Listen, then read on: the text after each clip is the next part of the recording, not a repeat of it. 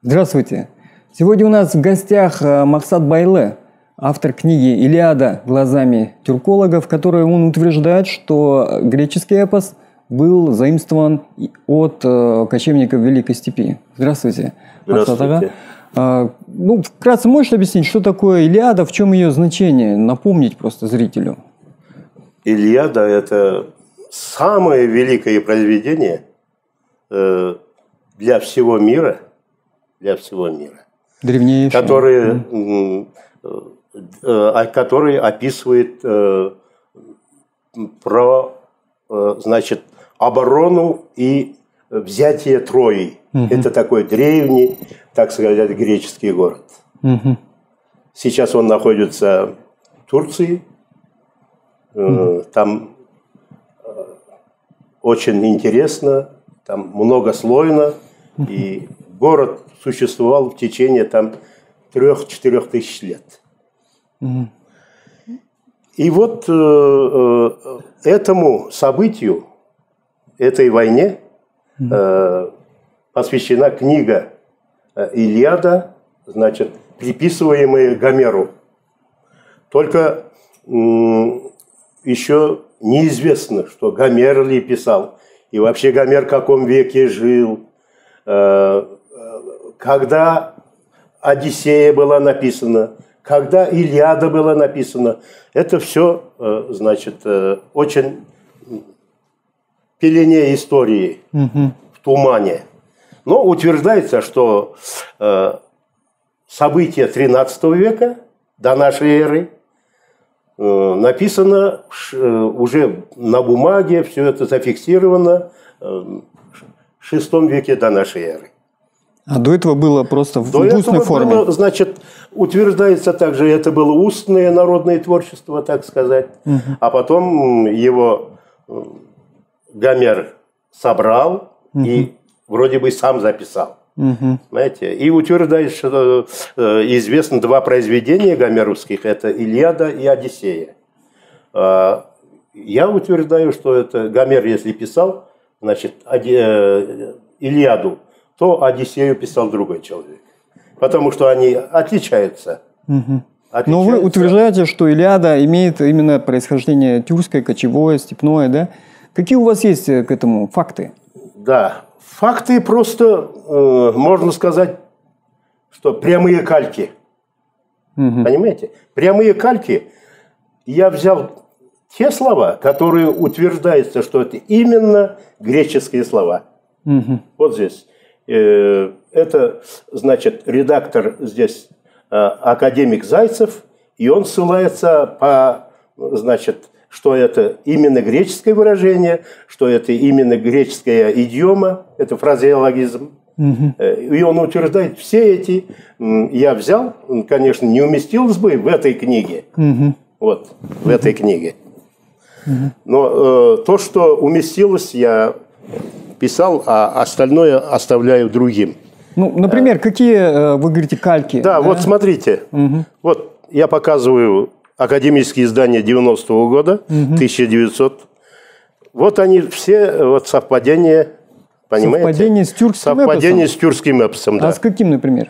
Ну, например, Ховланды, Алпамыс, Крымның қырық батыры, 40 богатырей Крыма. Просто наши обыкновенные слова. Ну, например, наши. какие? Например, вот, ага. вот например, э, ветроногая Афина. Ветроногая. Угу. Какой народ говорит, допустим, Европы ветроногая, ветроногие? Казахи говорят желаяк. Желаяк, да, есть такое выражение. Да. да. То есть быстроногие имеется в виду? В нашем обиходе это. В сегодняшнем обиходе? В сегодняшнем. Угу. Или же легконогая марписа. Угу. Легконогая. Почему легконогая? А я жеңіл казахи говорят. Легконогая. Угу. Это значит удачливая.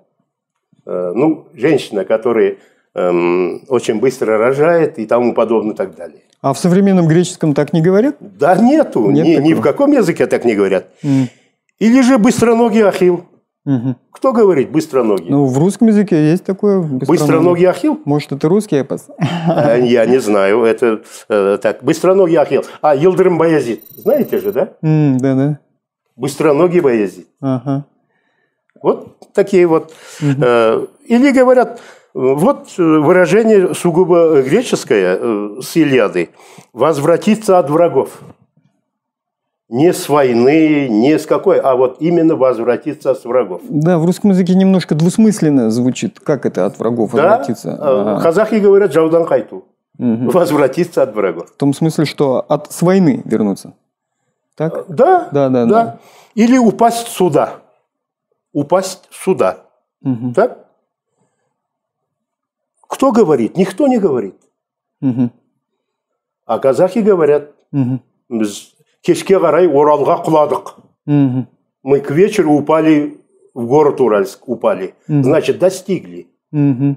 это понимаете понятно вот, вот ага. если понятно допустим вот греческие э, выражения черные бури черные волны черный корабль черные боли черная держит могила и тому подобное и так далее угу. никто же не говорит так казахи угу. говорят казахи говорят черные бури қара дауыл иә қара толқын қара кеме э, қара орын ну, в данном случае под словом «хара» не черный имеется в виду, да, а что-то Нет, друг, черное в казахском языке означает и черное, и могучее, великое, могучее, большое. Да, mm-hmm. да, да. Mm-hmm. И для древних греков точно так же обозначало. Mm-hmm.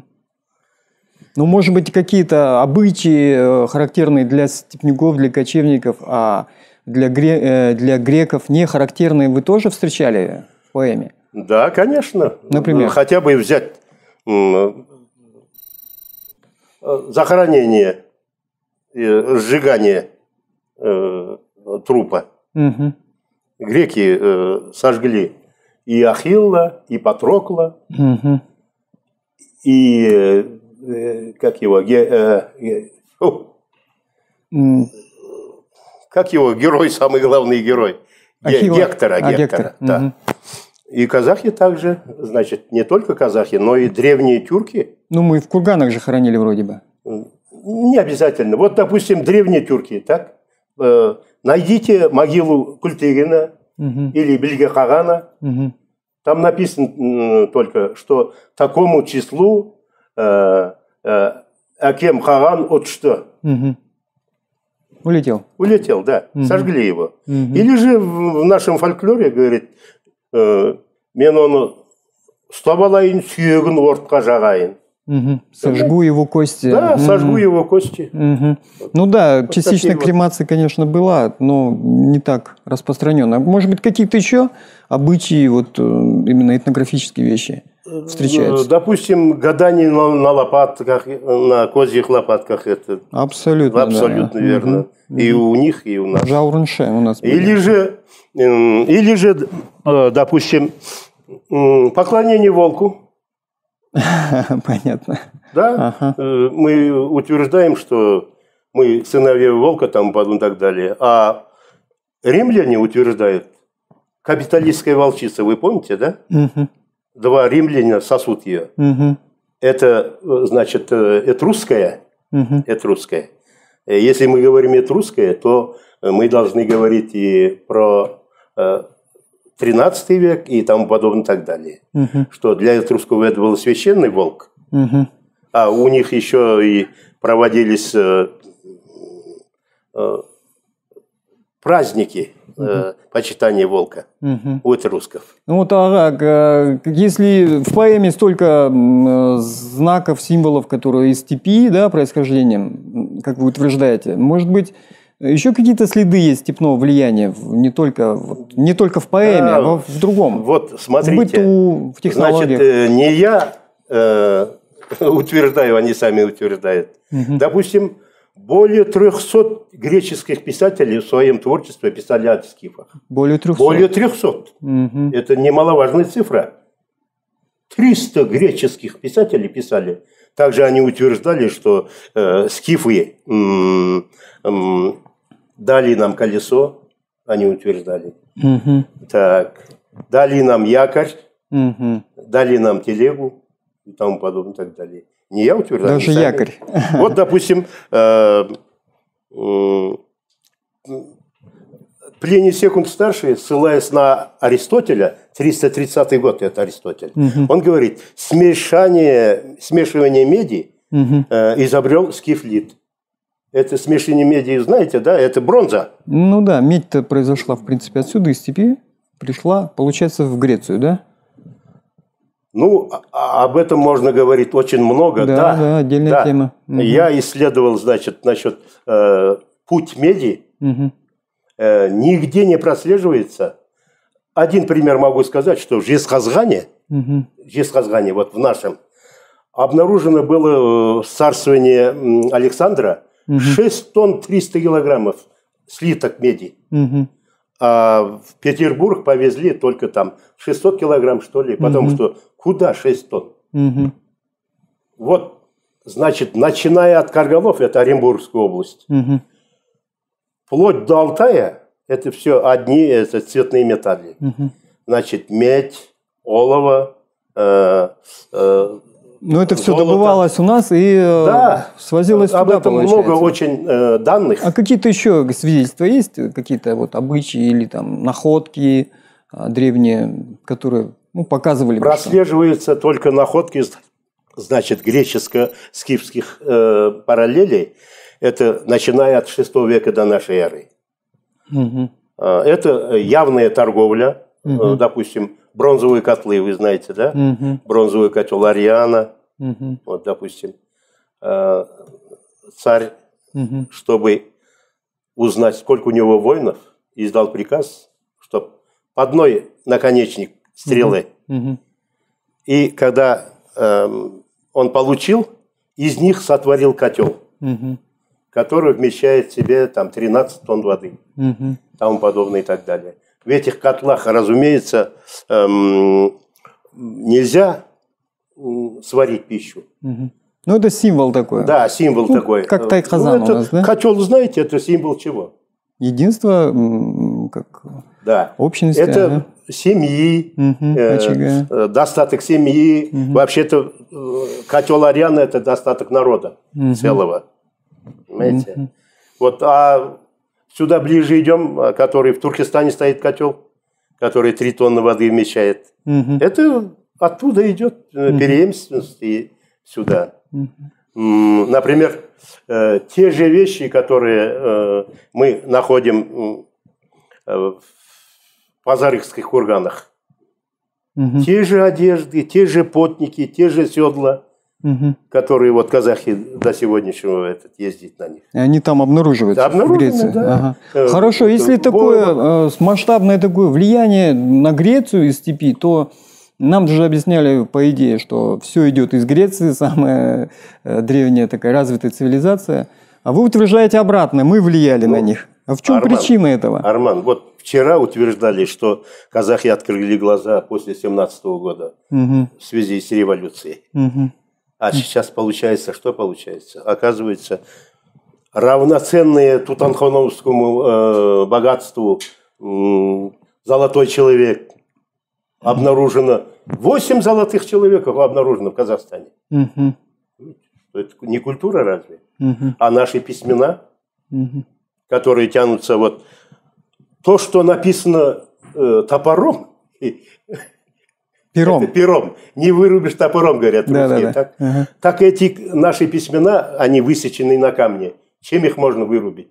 Угу. Знаете, мы читаем его, вот, вот я читаю, этими письменами занимаюсь, я читаю, как их казахские, значит, как будто вроде 50 лет назад написанные вещи. Знаете? Так он дальше же идет. Угу. Исикский этот э, чаша написанный а он идет дальше, дальше, дальше и идет к этрусским письменам. Ну, то есть вы утверждаете, что древнейшая, даже более развитая цивилизация была в степи, чем в Греции, да? Ну, если бы, э, если бы тогда, тогда шла, сейчас идет оттуда культура. Угу. Если бы тогда шла оттуда культура, угу. то э, греки не писали бы, что колесо изобрел скиф ну, такой-то и тому подобное и так далее. Ну, спасибо вам большое за беседу, за книгу. Дай вам Бог новых э, открытий. Напоминаю, с, нам, с нами был э, Махсад Байле, автор книги «Илиада глазами тюрколога». Читайте эту книгу. Э, исследуйте за мечтой, будьте